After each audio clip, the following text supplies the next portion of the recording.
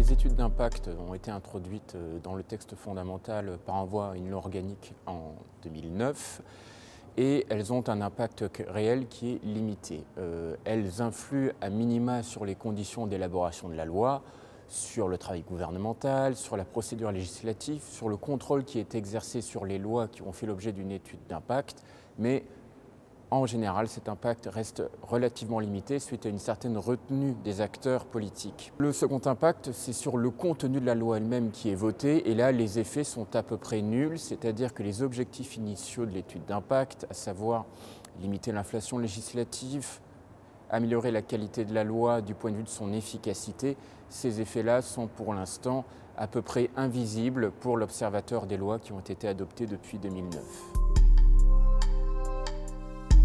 Les risques inhérents à l'externalisation de l'étude d'impact, euh, nous faisons référence bien sûr à euh, un procédé qui a été utilisé très récemment. Selon moi, il y a deux risques. Le premier risque, il est contentieux, c'est que l'externalisation de l'étude d'impact et de son exposé des motifs, exposé des motifs du projet de loi, revient à externaliser les conditions d'élaboration de la loi.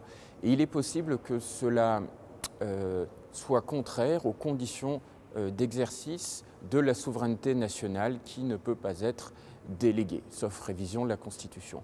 Et le second risque, c'est que euh, les ministères qui ont euh, externalisé la rédaction de l'étude d'impact n'aient pas les capacités d'expertise suffisantes pour apprécier la pertinence des expertises qui sont produites en extérieur. L'extension de l'étude d'impact aux amendements et propositions de loi paraît une solution d'évidence, mais quand on la confronte à la réalité euh, du débat politique et du travail législatif, on se rend compte qu'elle est extrêmement difficile à mettre en œuvre. Une solution plus réaliste et plus modeste consisterait déjà à prévoir une mise à jour de l'étude d'impact du projet de loi lors euh, de la navette entre les chambres, euh, en tout cas pour les projets de loi et les amendements. S'agissant des propositions de loi, peut-être qu'un travail en commission inspiré du modèle de l'étude d'impact permettrait peut-être également euh, d'arriver à de meilleures évaluations préalables. Alors des améliorations, il y en aurait beaucoup. Euh, juridiquement, on peut proposer beaucoup de réformes. Ce qu'il importe, c'est de trouver, à mon avis, la réforme juridique la plus pertinente, c'est-à-dire la plus à même d'influer significativement et dans le sens souhaité sur l'action des responsables politiques. Et pour influer significativement, je pense qu'il y a deux réformes qui sont sans doute centrales.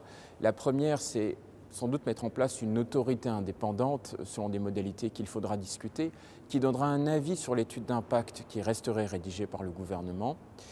Et il faudrait également permettre à la conférence des présidents de la première assemblée saisie de refuser l'inscription d'un projet de loi lorsque l'équivalent de 60 députés ou 60 sénateurs estime que l'étude d'impact est contraire aux exigences de la loi organique.